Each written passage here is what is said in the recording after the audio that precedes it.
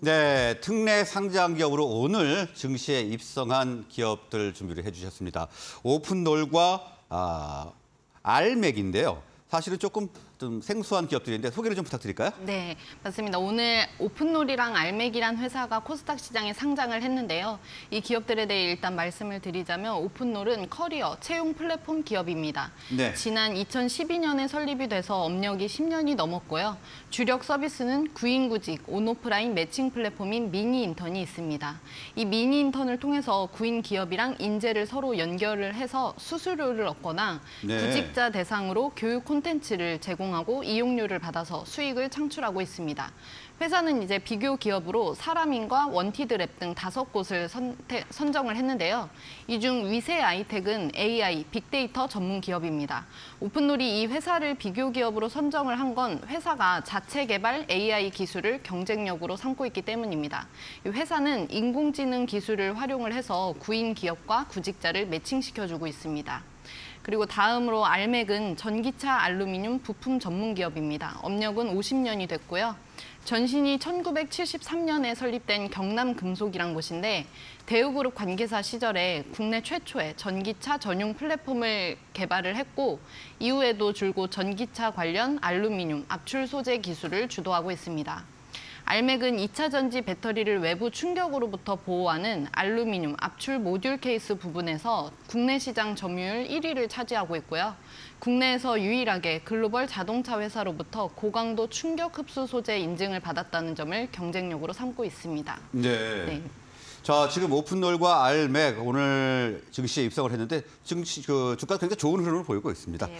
자, 이 두 기업이 특례 상장으로 이제 증시에 입성을 하게 됐다고 말씀을 주셨는데 특례 상장 사실 좀 생소한데요? 네, 그렇습니다. 먼저 특례 상장 의미와 제도 도입 취지 등에 대해서 먼저 설명을 드리겠습니다. 이제 예. 특례 상장 제도는 전문 평가 기관으로부터 일정 수준 이상의 기술 평가 등급을 받거나 상장 주관사의 추천 을 받아, 받은 기술 성장 기업에 대해 일반 상장보다 조금 완화된 재무 요건으로 상장을 허용하는 제도입니다. 네. 기술력이 좀 뛰어나고 성장성이 큰 기업이라고 하더라도 이 기업들이 단기간에 조금 안정적인 수익을 내기 어려운 경우가 많거든요.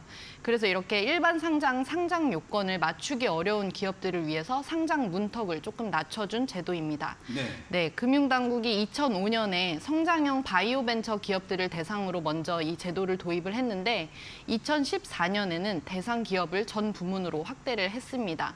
그래서 오늘 상장한 이제 알맥과 오픈롤도 기술력도 있고 성장성도 좀 크지만 당장 재무 성과나 사업 성과가 아직 본격화되지는 않아서 특례 상장을 택했다고 보시면 될 것 같습니다. 네, 조건을 완화해 준 것이 특례 상장이다 이렇게 말씀을 주셨는데 어, 특례 상장에도 좀 여러 가지 종류가 있는 것 같습니다. 어, 요건이 어떤 것들이 좀 있습니까?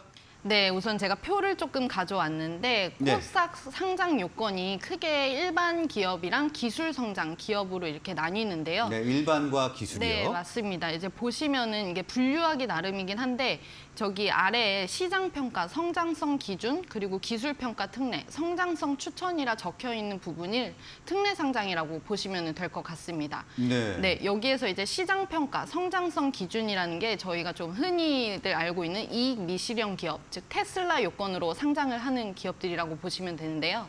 이 요건은 근데 기술 특례는 아니고 이익 미실현 특례라고 해서 이제 분류가 되는 이익 거고. 미실현 기업을 테슬라 요건이라고 부르나요? 네, 맞습니다. 그 그리고 이제 기술 성장 기업들은 전문 평가 기관의 평가 등급이 있어야 되는 이제 기술 평가 특례 트랙이랑 이제 평가 등급이 없어도 되는 성장성 추천 트랙으로 나뉘는데 이게 또 각각 기술 기반 기업이랑 사업 모델 기반 기업으로 이제 세분화가 됩니다.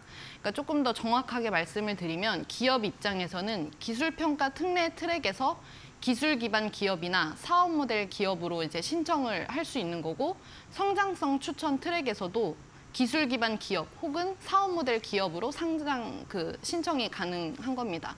그래서 이제 표 상단에 적힌 기술 평가 특례랑 성장성 추천 이거는 그 특례의 트랙인 거고 네. 기술 기반과 사업 모델은 기업의 유형이라고 이해하시면 될것 아, 같습니다. 점점 들을수록 좀 혼란에 빠지는 것 같습니다. 아, 네. 자, 종류가 굉장히 많은데, 자, 그러면 오늘 어, 증시에 입성한 이 두억 두 기업을 위주로 다시 한번 알아보도록 하겠습니다. 이 오픈롤과 알맥은 어떤 요건으로 입성을 하게 된 거죠? 네, 오픈롤은 우선 사업 모델 기술 특례로 사업 모델이요? 네, 맞습니다.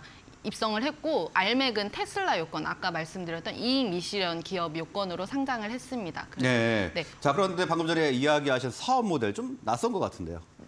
네, 맞습니다. 근데 사업 모델이 특례 사업 모델 특례 상장은 이제 기술 평가가 조금 어려운 업종들의 상장을 위해서 사업 네. 모델을 평가하는 제도인데요. 주로 시장 매력도나 사업 모델의 타당성, 그리고 혁신성, 경쟁 우위도 등을 평가를 합니다. 지난 2017년에 도입이 됐고 도입된 지 6년이 됐는데 6년 동안 이제 상장을 한 기업들이 6개밖에 되지 않아요.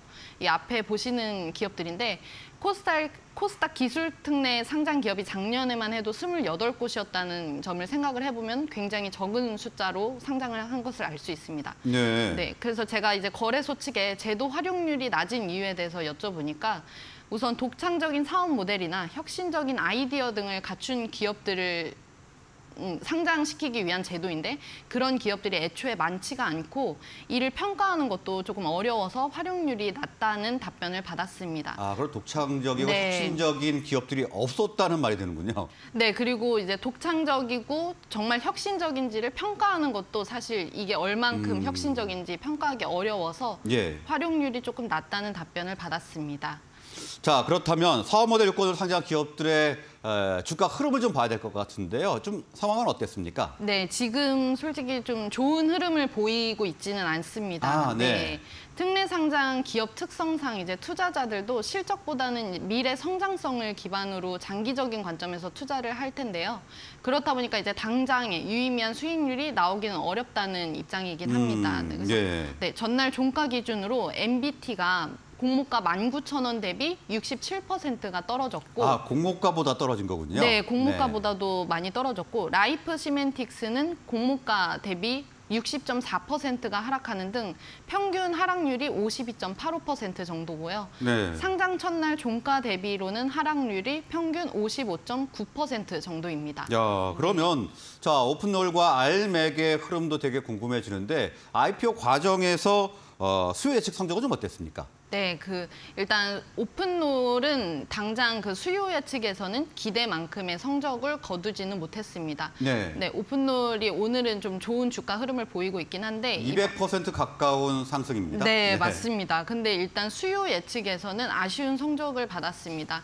그 경쟁률은 510.36대 1로 그래도 조금 기관 투자자 대상 수요 예측에서 괜찮았죠? 준, 네, 네. 준수한 경쟁률을 기록하긴 했는데 이게 참여 기관들의 호불호가 갈리면서 공모가를 하향 조정하게 됐습니다. 예. 그리고 이어진 일반 공모 청약에서는 49.04대 1의 경쟁률을 기록을 했고요. 확 줄어들었네요. 네, 그리고 반대로 근데 알맥은 흥행에 성공을 했습니다. 기관 투자자 대상 수요 예측에서 1697대 1의 높은 경쟁률을 기록하면서 공모가는 희망 공모가 밴드 최상단을 초과한 5만 원에 확정을 했습니다. 네. 네, 일반 청약에서도 1355대 1의 경쟁률을 기록을 했는데 증거금으로는 8조 원을 넘게 모았습니다. 네, 그러면 알맥은 어, 흥행에 성공을 한 케이스인데 아, 똑같이 이렇게 에, 특례 상장인데 성적이 갈리는 이유는 어디에 있다고 봐야 되나요? 네, 우선 요즘 공모 시장에서는 조금 옥석 가리기가 진행이 되고 있는데요. 네. 공모 구조가 얼마나 시장 친화적인지 그리고 업종 매력도는 얼마나 높은지 대표 기술력과 제품이 타사 대비 얼마나 경쟁력이 있는지 그리고 향후 기업의 계획과 비전이 얼마나 구체적이고 실현 가능성이 있는지 등 이런 복합적인 원인이 좀 투자 향방을 갈랐다고 볼 수 있을 것 같습니다.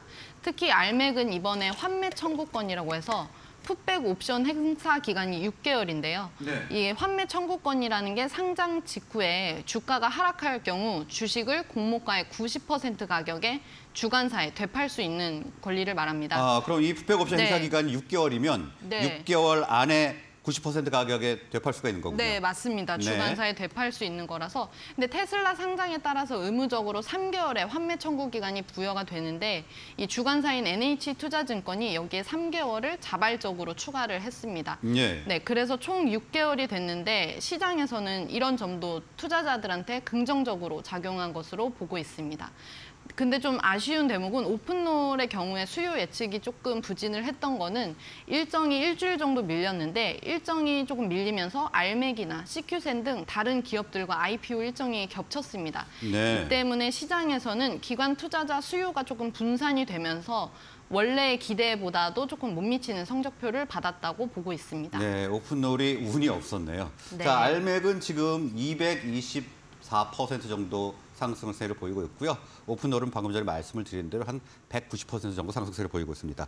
자, 그러면 특례 상장 기업에 투자 시 유의해야 할 점이 있다면 어떤 것들이 있을까요?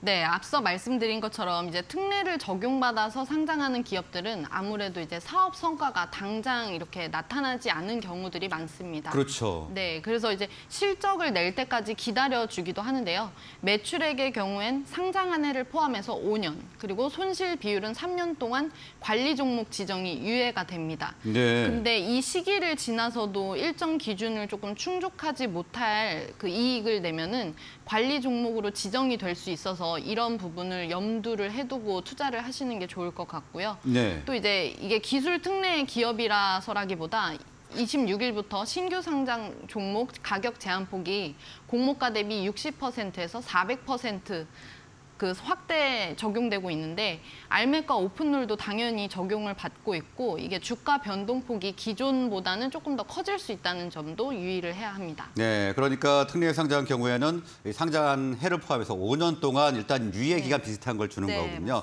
그때까지 성적을 못 내면 조금 어려워지는 그런 상황으로 달리는 거고요. 자, 특례 상장 제도의 개선도 지금 뭐 예정돼 있다고요. 네, 맞습니다. 이제 정부가 다음 달까지 반도체나 2차 전지 등 좀 중요한 첨단 기술을 보유한 우량 기업들에게 특례 상장 요건을 완화하는 등 관련 제도를 개선하겠다고 밝힌 상태입니다. 예. 네, 핵심 기술을 보유한 기업들이 자본 시장에서 원활하게 자금을 조달할 수 있게 지원한다는 취지인데요. 이제 그동안 특례 상장을 위해서는 복수의 기술 평가를 받도록 했는데 이게 비용이랑 시간적 부담이 크다는 지적이 있어서 국가적으로 좀 육성을 해야 되는 첨단 기술을 보유한 우량 기업들에 대해서는 기술 평가를 하나만 받아도 되게끔 요건을 완화하는 것을 검토하기로 했습니다. 예. 네, 또 그리고 한국거래소의 상장 예비 심사 이후에 금융감독원이 증권 신고서를 심사를 하게 되는데 이 과정에서 정보 공유가 좀 제대로 되지 않아서 심사 기간 이 길어지는 걸 방지를 하기 위해서 양 기관의 정보 공유를 활성화하기로 했습니다. 이 밖에 중견기업 이상의 모 회사가 되면 특례 상장이 제한되지만 중견기업 자, 자회사도 특례 상장 대상에 포함하는 등의 안도 검토를 하기로 했고요. 또 투자자 보호를 위한 방안도 마련을 하기로 했는데 상장 이후 기술 기업의 실적이나 기술 개발 현황 등에 대한 공시를 조금 강화를 하고 상장 주선인에 대해서도 과거 실적 등에 대한 공시와 자격 요건 등을 강화하기로 했습니다. 네, 우량 기업 같은 경우에는 특례 상장 요건을 완화해 주는 그런 방안인데요. 다음 달 아, 발표 예정인데 좀 주목을 해 봐야 될 것 같습니다. 자, 오늘은 특례 상장, 특례 상장 기업들에 대해서 자세하게 알아봤습니다. 오늘 말씀 여기까지 듣겠습니다. 네. 고맙습니다. 감사합니다.